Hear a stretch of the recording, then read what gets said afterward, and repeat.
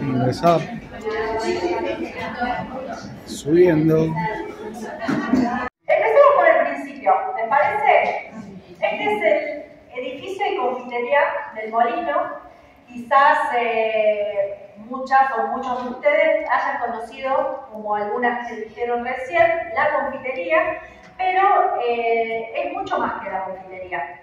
¿sí? Eh, este edificio está conformado por la confitería, tres salones, 12 departamentos, una azotea, tres subsuelos y la cúpula, de los cuales vamos a ir recorriendo varias de esas partes. Y el resto todavía están en restauración. Eh, esta confitería y edificio se funda eh, el 9 de julio de, de 1916 100 años después de, de la independencia. Muy bien. Pero años antes, el señor Brena, que era el dueño, el pastelero de, la confitería, el dueño del edificio, eh, comenzó a trabajar con eh, la parte de la fachada de la confitería, donde ahí colocó su, su negocio.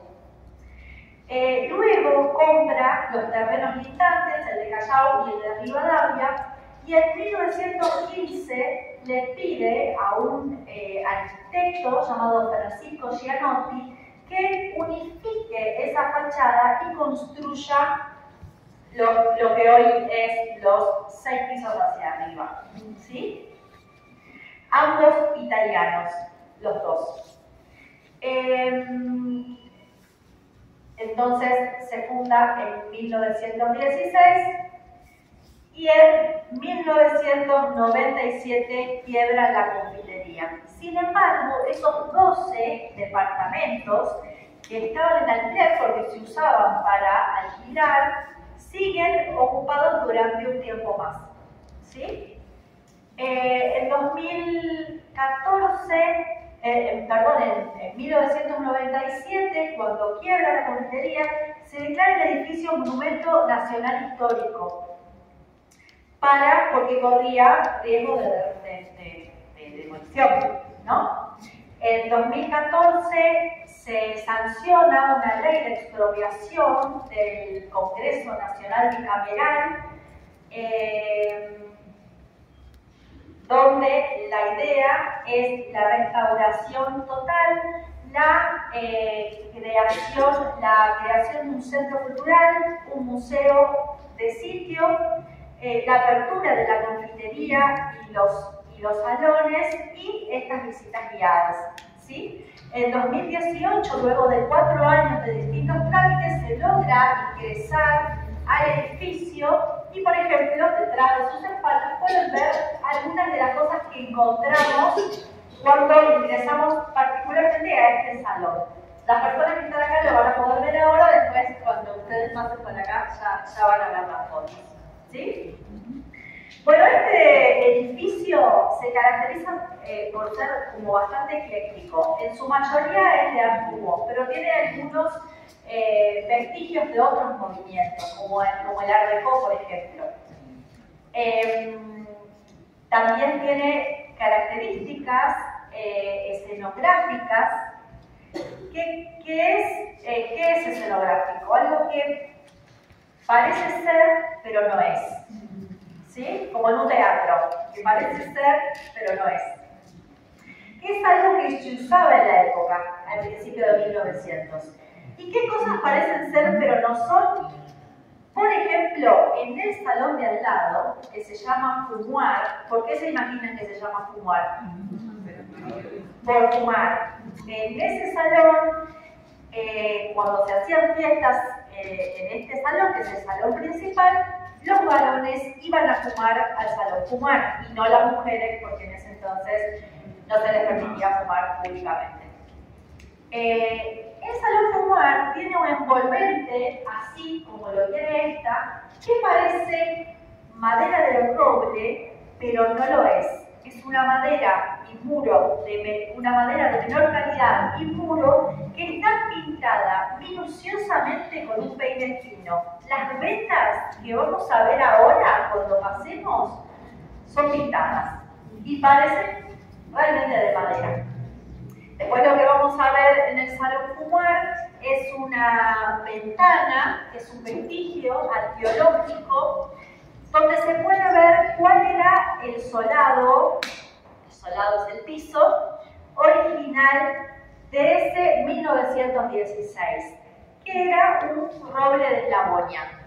Esto que vemos acá y lo que vamos a ver allá es calder, que es una madera mucho más que es una madera nacional, y es una, eh, se colocó más o menos en la década del 60 o 70. Quizás podría haber sido por una cuestión de moda. Entonces, ahora les invito a pasar por el fumar y recuerden ver esa envolvente que parece ser de madera, de roble, pero no lo es, son vetas pintadas, y después vean la ventana arqueológica con el solado original. ¿Les parece? Síganme por acá, vamos por esta, por esta puerta derecha.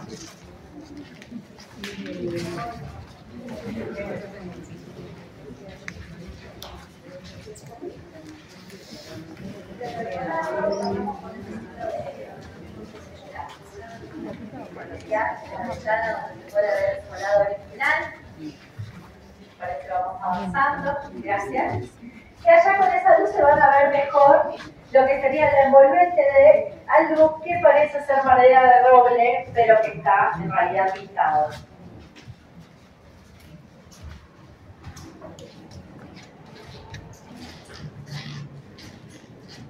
Esto es lo que está beta por beta pintado a mano. Es ahora, ahora, pero se usaba en el 1900, o sea, se replicó algo que ya se usaba. ¿Les parece ir avanzando? ¿Sí? Gracias. Es madera de menor calidad, pero estas vetas son de mentira. Sí.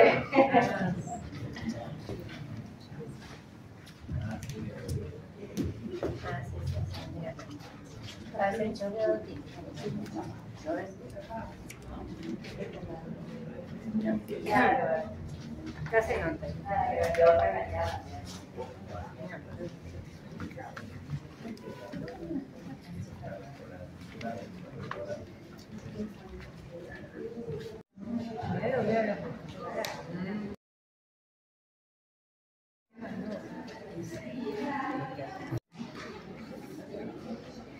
Bueno, nos espera subir cinco pisitos.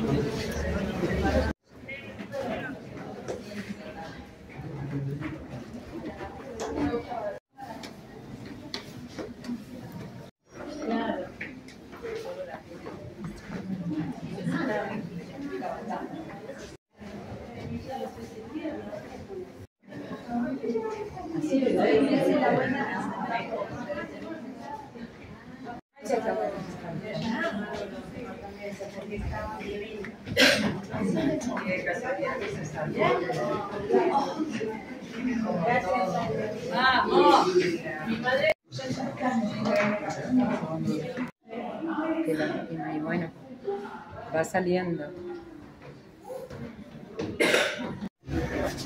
Bueno, llegamos a la azotea. Ya que la tenemos Cecilia, pues sacamos hoy. Sí, con las chicas. Con los dos. Qué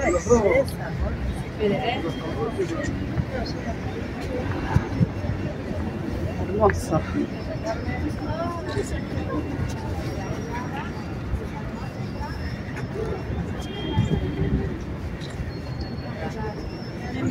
Oscura. ¿No tenés un claro, Marco?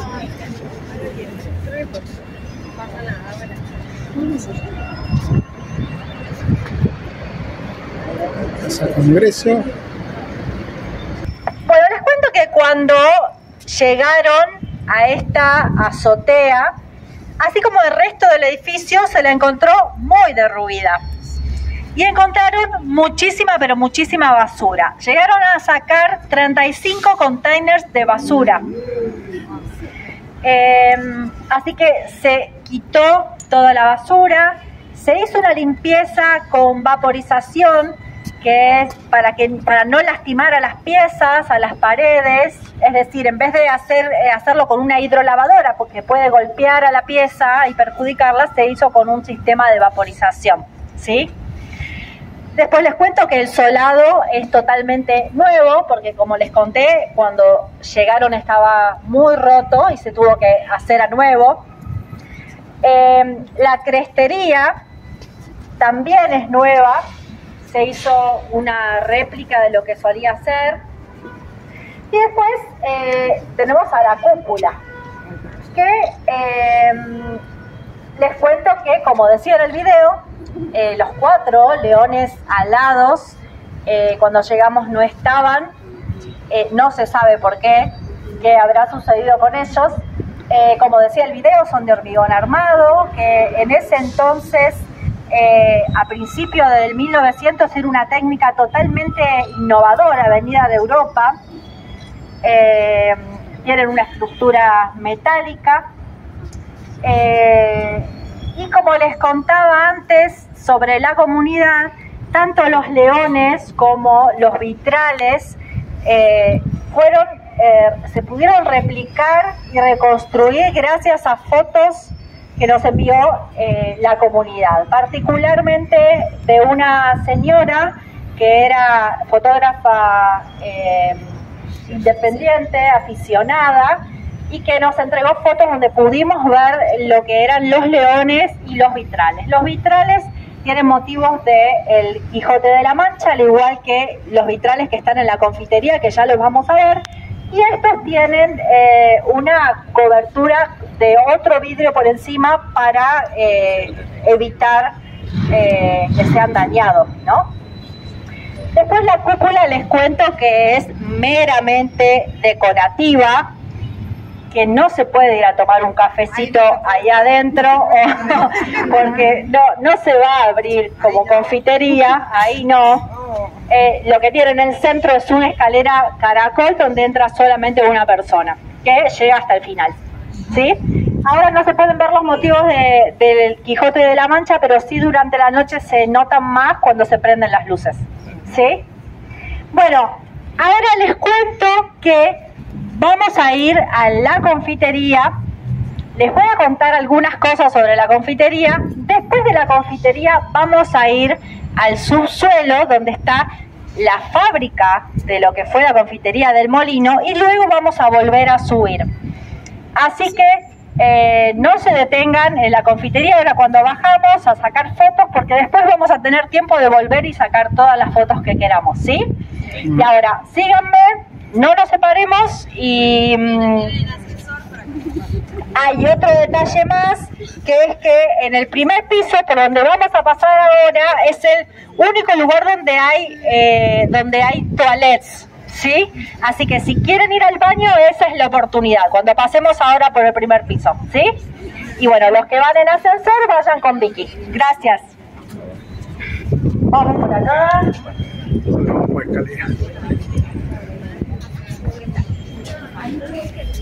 Escalera.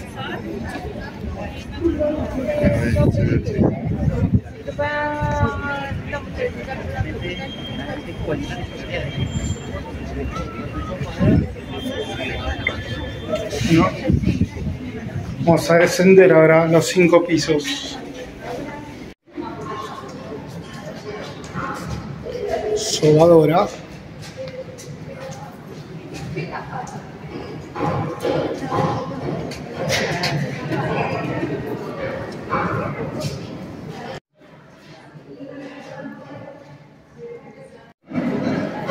Y ahí, eso ven ahí es un pelapapas. Una cocina histórica. Está tras sus espaldas es la cocina histórica. Es la cocina que proveía a los salones de fiestas, ¿sí? La que mandaba el catering a los salones de fiestas. Eh, esta cocina tiene ahí algunas máquinas históricas, como una sobadora, como un pelapapas. Después, otra curiosidad es que los azulejos son originales, ¿sí? Y que es que en esa época, durante, la, durante el tiempo que estuvo abierto, abierta la confitería, había alguien especialmente dedicado a colocar los azulejos mediante se iban cayendo por el propio movimiento del edificio. Eh, después, eh, al costado hay una puerta de madera, que la pueden ver por ahí, que era el frigorífico. Bueno, ahora me acompañan a la confitería. ¿Sí? Sí, vamos. Bueno, recuerden que vamos a ir a la confitería, después vamos a bajar al subsuelo y después vamos a volver a subir. Así que ahí van a tener el tiempo para sacar las fotos. Así que ahora no se detengan sacando fotos, que después vamos a tener el, el tiempo. Y, le- y en la escalera tampoco, así pueden ir bajando todos. Gracias.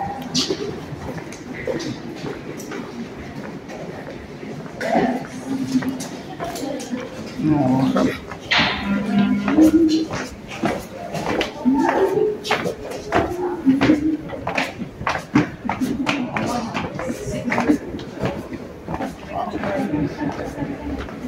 bajar.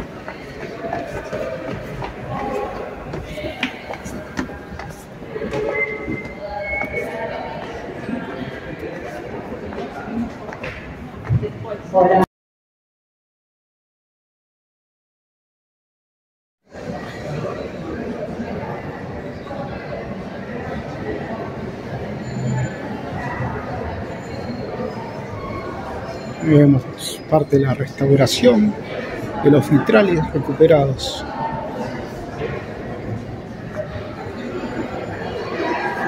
Escalera.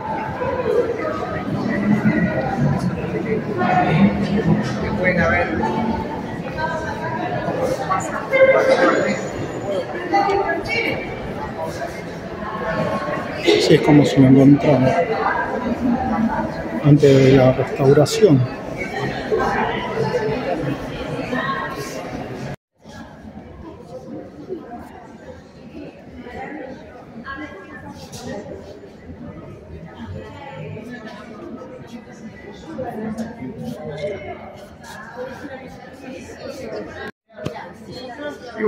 Para el subsuelo.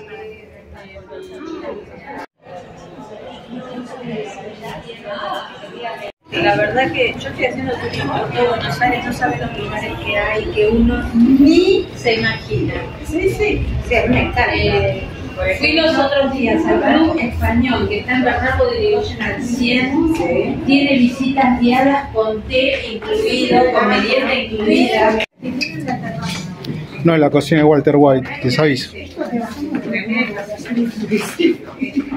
Por eso yo. No.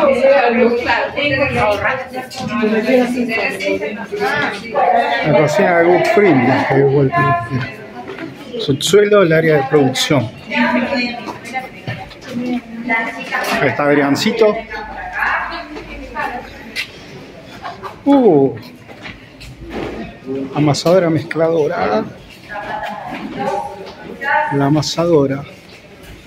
No, esto es increíble, no sé. Es azulejos. Les cuento que esto que estamos viendo por acá no es de teatro, que no está preparado para la visita y que es una restauradora y un restaurador trabajando. Y que, bueno, como no se comercializan, no se comercializan más, eh, no se consiguen, ellas los están replicando. Están haciendo uno por uno para luego colocarlos.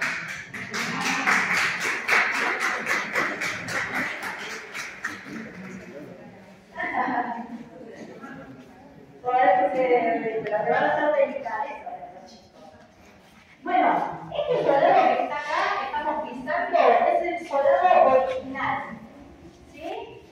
Y lo que tiene de maravilloso eh, y particular este soldado es que es del mismo fabricante que hizo el piso de titanio. Así que si quieren soldarlo, pueden hacerlo. Restaura. Bueno, Baja de cocción con después, estilo. eh, tenemos los hornos históricos, de allá, que son tres, ven el primero a la izquierda que está allá de color bordeaux. Bueno, ese horno es el más nuevo, es un horno de la década del 80, pero los otros dos son los hornos históricos y son del 1916. El del centro es el horno más grande, el de los dos, y tiene 6 metros de circunferencia. Así que imagínense el nivel de producción que tenía eh, esta confitería. Al principio con leña y después a gas. ¿Sí? Y las casitas que se ven arriba son cámaras de fermentación. Ahí se colocaban las masas para que con el calor residual del mismo horno se vayan elevando. Y también las cosas que requerían de menor calor, como por ejemplo los menequitos, que no requieren mucho calor para cocinarse. ¿Sí? Y después, por último, las máquinas que están alrededor. Por allá vemos varias mezcladoras, por acá vemos una probadora. El monte, el monte Cargas. A tomar un cafecito. Chau, chau, nos vemos, gente.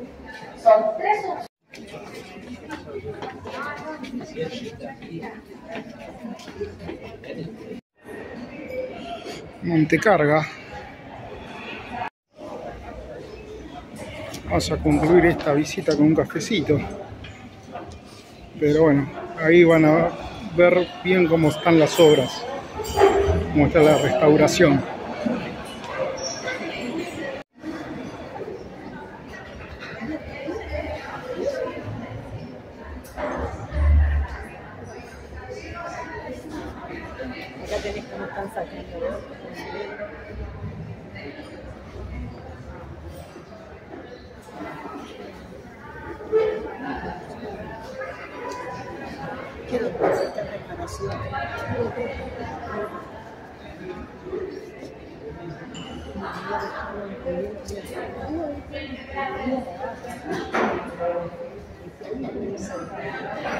Bueno, pero no, no, no.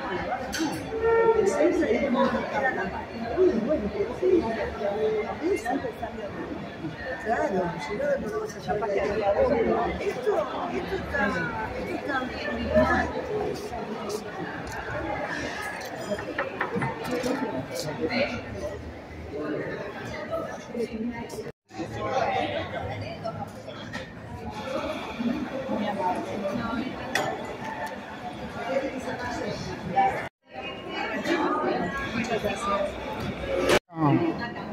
Se exponía la mercadería.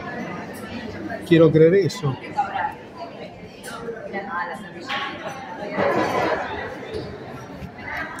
Ahí tenemos la puerta giratoria.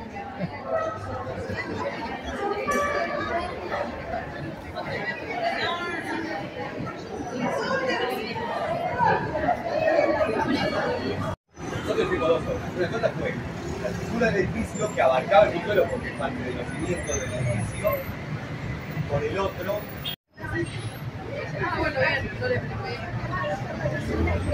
Impresionante. Bueno, esto fue todo, gente. Pero de poder.